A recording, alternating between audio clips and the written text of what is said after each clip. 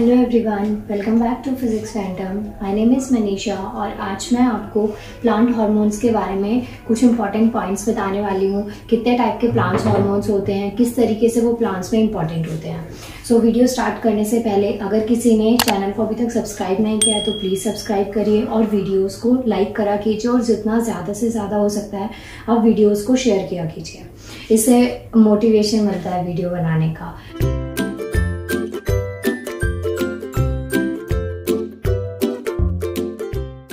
सो so, uh, जैसे कि हमारी बॉडी में ना ह्यूमन बॉडी में बहुत सारे हॉर्मोन्स होते हैं बहुत सारे हार्मोनल चेंजेस होते हैं मिनरल्स इंपॉर्टेंट होते हैं विटामिन इंपॉर्टेंट्स होती हैं।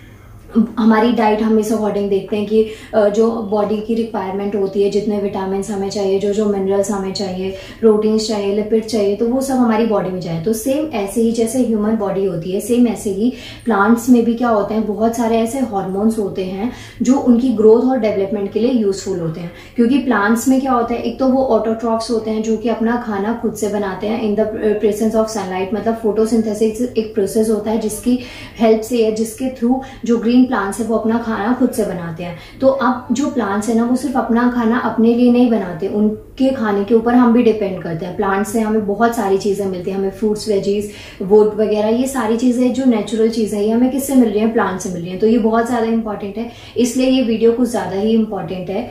सो so, आज मैं आपको प्लांट हॉर्मोन्स के बारे में बताने वाली हूँ। जैसे कि प्लांट हॉर्मोन्स होते हैं ना इनको हम फाइटो हॉर्मोन्स भी कहते हैं। ये एक ऑर्गेनिक सब्सटेंस होते हैं जो कि प्लांट की ग्रोथ एंड डेवलपमेंट को रेगुलेट करते हैं। जिस तरीके से ह्यूमन बॉडी में multi variety of hormones minerals की नीड होती है सेम ऐसे ही जो हमारे प्लांट्स हैं उनके लिए टोटल जो मेन फाइव प्लांट हॉर्मोन्स हैं जो आज मैं डिस्कस करने वाली हूँ वैसे तो बहुत सारी वेराइटी के हॉर्मोन्स होते हैं लेकिन ये जो मेन फाइव प्लांट हॉर्मोन्स है जो आपके एग्ज़ाम पॉइंट ऑफ़ व्यू से बहुत ज़्यादा इंपॉर्टेंट है। सो so, जैसे फ़र्स्ट जो है इसमें है gibberellin second one is auxin ethylene cytokinin abscisic ये कुछ ऐसे हॉर्मोन्स हैं जो कि प्लांट्स के लिए बहुत ज़्यादा इंपॉर्टेंट है। आज की इस वीडियो में मैं वन बाय वन एक एक प्लांट हार्मोन को डिस्कस करने वाली हूँ। उसका क्या यूज़ होता है किस तरीके से वो प्लांट के लिए यूजफुल है। सो so, फ़र्स्ट जो है ना हमारे पास सबसे पहला जो हार्मोन है वो है ऑक्सीजन ऑक्सीजन जो होता है ना ये हार्मोन क्या करता है कि प्लांट की जो ग्रोथ होती है ना उसके लिए ये बहुत ज़्यादा इंपॉर्टेंट है। मैंने इसमें सारे पॉइंट्स लिखे हैं जैसे ये शॉर्ट्स में लिखे हुए हैं फ़र्स्ट पॉइंट है ऑक्सीजन क्या करता है? सेल ग्रोथ को प्रमोट करता है। उसके अलावा एलोंगेशन ऑफ़ प्लांट में ये हेल्प करता है। एलोंगेशन का मतलब क्या होता है? आप सबको पता है जो प्लांट्स है ना वो सनलाइट की साइड ग्रो करते हैं या अपवर्ड डायरेक्शन में ग्रो करते हैं। तो ये होता है एलोंगेशन सो so, इस प्रोसेस के लिए जो सबसे ज़्यादा इंपॉर्टेंट हार्मोन है, वो है ऑक्सीजन इसके अलावा इसका जो नेक्स्ट पॉइंट है, ये इन्फ्लुएंस करता है रूटीन फॉर्मेशन को. इन्फ्लुएंस का मतलब होता है किसी चीज़ के ऊपर प्रभाव डालना. तो जो रूटीन फॉर्मेशन होती है प्लांट्स में रूट्स बहुत इंपॉर्टेंट रोल प्ले करती हैं. ये सॉइल को, ये सॉइल से अपने आप को जकड़ लेती हैं, जिसकी वजह से प्लांट्स एक जगह से दूसरी जगह पे मूव नहीं कर पाते. प्लस इसमें जब भी हम जैसे प्लांट में कोई भी खाद है पानी है कुछ भी आप ऐसी चीज़ें डालते हैं तो आप सॉइल को देते हैं सॉइल का मतलब कि आप रूट्स में डाल रहे हैं। और रूट्स के थ्रू जाइलम और फ्लोएम प्लांट के अपर टिप तक इस चीज़ों को न्यूट्रिशंस को पहुंचाते हैं। सो so, जो फ़र्स्ट हार्मोन है ऑक्सीजन तो ये क्यों क्यों इंपॉर्टेंट है? इसमें दो तीन पॉइंट्स मैंने लिखे हुए हैं। फ़र्स्ट पॉइंट है कि ये सेल ग्रोथ को प्रमोट करता है। सेकेंड पॉइंट है कि जो ऑक्सीजन हार्मोन है ये जो एलोंगेशन होती है प्लांट की मतलब कि जो अपवर्ड डायरेक्शन में प्लांट को ग्रो करवाते हैं, उसमें ये हेल्पफुल होता है। इसके अलावा ये रूट फॉर्मेशन को भी इन्फ्लुएंस करता है। नेक्स्ट जो हार्मोन है वो है इथाइलिन ये भी काफ़ी इंपॉर्टेंट है. इवन ये सारे फाइव के फाइव हार्मोन्स बहुत ज़्यादा इंपॉर्टेंट है. नेक्स्ट अब जो आपके पास नेक्स्ट इंपॉर्टेंट हार्मोन है प्लांट का वो है इथाइलिन इसका क्या रोल होता है? जो फ्रूट्स हैं वेजिटेबल्स हैं जो प्लांट पे लगी हुई होती हैं उसमें क्या होता है कि वो एक टाइम तक कच्ची रहती है रॉ होती है उसके बाद में धीरे धीरे वो पकने लग जाती है. मतलब राइपन से एक ऐसा फ्रूट बन जाता है जिसको हम इजिली खा सकते हैं. सो so, ये जो इथाइलिन हार्मोन है ये फ्रूट्स को एंड वेजिटेबल्स को पकाने में हेल्प करता है. इस इसके अलावा इसका जो सेकेंड इंपॉर्टेंट पॉइंट है वो ये कि इथाइलिन हार्मोन एप्सिशन में हेल्प करता है। एप्सिशन का मतलब होता है कि जैसे कि कुछ ऐसी लीव्स होती हैं प्लांट की जो अपने आप गिर जाती है फ्लावर्स होते हैं फ्रूट्स होते हैं वेजिटेबल्स होते हैं। मतलब कि ऐसा फ्रूट जो कि या फिर लीफ जो कि पकने के बाद में अपने आप ऑटोमेटिकली गिर जाती है। सेपरेशन जो होती है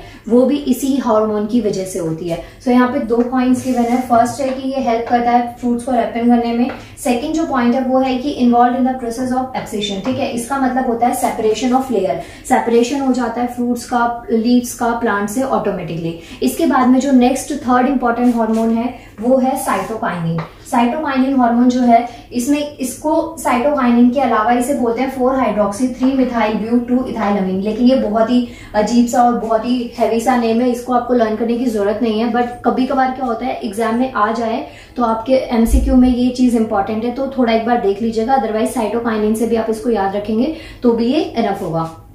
नाउ जो ये हार्मोन है साइटोकाइनिन ये क्या होता है? सबसे पहली चीज़ तो ये सेल डिवीज़न को प्रमोट करता है। सेल डिवीज़न को प्रमोट करने का मतलब जैसे आपने देखा है एक प्लांट है, उसमें से ना बहुत सारी ब्रांचेस निकली हुई हैं लीव्स हैं। एक ही ब्रांच में से बहुत सारी लीव्स निकली हुई हैं और जो सेल्स होती है प्लांट्स में, वो क्या होती है? डिवाइड होती है। डिवीज़न का मतलब जैसे कि, और लाइक होता है कि जैसे प्लांट्स है, उसमें से कोई लीव गिर गई है, या फिर ऑटोमेटिकली कहीं से भी कोई भी ब्रांच अपने आप ग्रो कर रही है, ठीक है? अगर आपने प्लांट प्लांट को बीच में से काट दिया है तो अगर उसकी रूट्स और स्टेम ठीक है तो वो अपने आप दोबारा से ग्रो करने लग जाएगा। तो ये इस टाइप के जो चेंजेस होते हैं वो सेल डिवीज़न में आते हैं।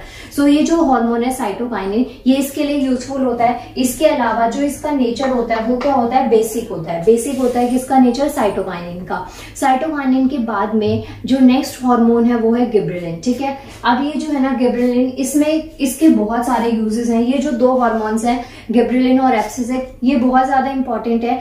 इंपॉर्टेंट वो भी है लेकिन इनमें से क्वेश्चन एग्ज़ाम में ज़्यादातर पूछे जाते हैं। सो गिब्रिलिन हार्मोन क्या करता है? सेल डिवीज़न को प्रमोट करता है। सॉरी ग्रोथ को प्रमोट करता है। इसके अलावा ऑर्गन डेवलपमेंट में ये हेल्पफुल होता है। ऑर्गन डेवलपमेंट में जैसे कि हमारी ह्यूमन बॉडी है इसमें हमारे पास किडनी है लिवर है हार्ट है ये सारे ऑर्गन्स होते हैं। लेकिन प्लांट्स में क्या ऑर्गन्स होते हैं? सीड हो गया ठीक है स्टेम रूट्स ये सारी चीज़ें क्या होते हैं? प्लांट के ऑर्गन्स होते हैं। सो so, ये जो हार्मोन है गिब्रिलिन ये इनकी ग्रोथ में हेल्प करता है। अब यहाँ पे है गिब्रिलिन देखिए प्रमोट करता है ग्रोथ को, उसके अलावा ऑर्गन डेवलपमेंट के लिए और इन्वायरमेंटल रिस्पॉन्स के लिए। इन्वायरमेंटल रिस्पॉन्स के लिए भी ये काफ़ी ज़्यादा इंपॉर्टेंट होता है। इसके अलावा इसके जो यूज़ है ये सीड जर्मिनेशन सीड जर्मिनेशन का मतलब होता है बीज के अंकुरन के लिए। जब बीज अंकुरित होता है, तभी उसमें से फ्लावर या फ्रूट निकल कर आता है, ठीक है? तो उसके लिए कौन सा हार्मोन इंपॉर्टेंट है? गिब्रिलिंग इसके बाद में जो नेक्स्ट है डेवलप करता है फ्लावर्स फ्रूट्स और सीड में, ठीक है? फ्लावर फ्रूट और सीड्स की डेवलपमेंट के लिए भी जो हार्मोन इंपॉर्टेंट है, वो है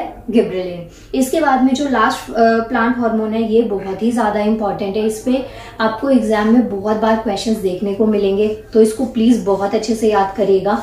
जिस तरीके से मैंने आपको बताया साइटोकाइनिन के दो नेम्स होते हैं, ठीक है? एक तो आप साइटोकाइनिन बोल सकते हैं और एक इसका इस तरीके से name four hydroxy three methyl but two ethylamine इसी तरीके से जो एप्सिक हार्मोन है, इसे हम स्ट्रेस हार्मोन भी कहते हैं. ये वन मार्कर क्वेश्चन है, बहुत ही ज़्यादा इंपॉर्टेंट है एग्ज़ाम पॉइंट ऑफ़ व्यू से।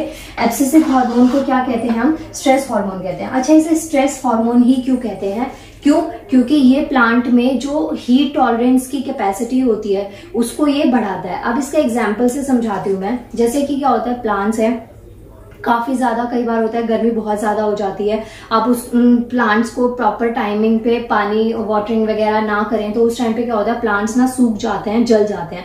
जलने पे पता चलता है कि वो काफ़ी जल आ, मतलब ब्लैक से हो जाते हैं और उसके बाद में उनमें काफ़ी ड्राइनेस आ जाती है। कुछ प्लांट्स ऐसे होते हैं जिसकी काफ़ी ज़्यादा केयर करो लेकिन उसके बाद भी वो क्या होता है अच्छे से ग्रोथ नहीं कर पाते। तो वो किस हार्मोन की वजह से होता है? एप्सिसिक हार्मोन की वजह से। अब क्या होता है कि बहुत सारे प्लांट सेंसिटिव होते हैं। वो हर एक क्लाइमेट में अगर बहुत ज़्यादा गर्मी है या बहुत ज़्यादा ठंड है तो उनको उस टाइम पे कुछ ज़्यादा एक्स्ट्रा केयर की ज़रूरत होती है। अगर उनको वो केयर नहीं मिलती तो उस टाइम पे इनमें मतलब इन प्लांट्स के खत्म होने के चांसेस हो जाते हैं। तो ये प्लांट का जो हीट स्ट्रेस होता है उसकी टॉलरेंस के लिए इंपॉर्टेंट है। और प्लस जो प्लांट में क्लाइमेट चेंजेस के साथ में क्लाइमेट चेंज होने के साथ में जो चेंजेस की रिक्वायरमेंट होती है उसके लिए बहुत ज़्यादा इंपॉर्टेंट है। सो so, यहाँ पे दो पॉइंट्स है improve plant tolerance to heat stress और crucial for plant growth and regulate temperature जब तक प्लांट में अच्छे से टेम्परेचर वगैरह रेगुलेट नहीं होगा प्लांट्स ग्रो नहीं करेंगे। सो so, आज की जो वीडियो थी प्लांट हॉर्मोन्स के लिए थी आप चाहें तो इसका स्क्रीनशॉट ले सकते हैं और प्लीज़ चैनल सब्सक्राइब करिए और वीडियो को लाइक करिएगा। Thank you so much